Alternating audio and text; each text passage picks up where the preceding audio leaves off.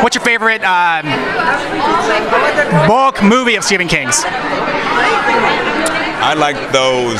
Um, I like his short stories.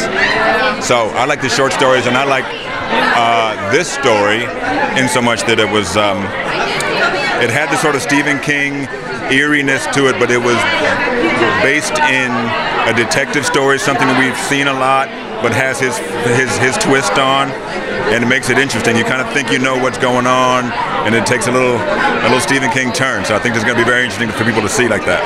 Did you read the book first, know about the book first, or did the script come across and then you read the book? I get that question a lot, and I, the, I started reading the book once I got the job. Hadn't seen the script yet, and then got the script and had to stop putting and had to put the book down. It kind of take as an actor, it kind of takes you in a different direction, and and it was all there. And a couple of uh, several of the other actors said it's a bit of the same thing. So it's kind of hard to go. It's kind of almost a different world. The, the, so you kind of for a character, you kind of go to one way or the other. So we kind of went had to stay with the uh, David E. Kelley version. Right. Yeah, they do change. I was like, can you tell me a little bit about your character? Uh, I play Pete Dixon. I play uh, uh Detective Hodges. Brendan Gleeson plays Hodges, mm-hmm. whose character is retired, and I play his ex-partner.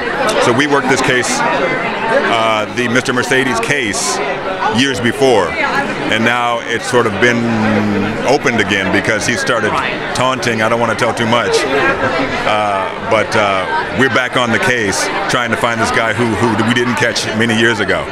Wait, so what's it like to work with that team? I mean, Stephen King, Jack Bender, and David E. Kelley. That's the whole thing. You know, I got to work opposite Brendan Gleeson with David E. Kelley writing and uh, uh, uh Jack Bender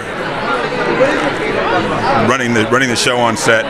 Dream team, you know, it just made it really great for an actor to have so much there to pull from, and so much support from you know really people who are dedicated in doing just a good job, just making something really good, making a good project. We didn't have to serve the network in any way that that, that, that was constricting.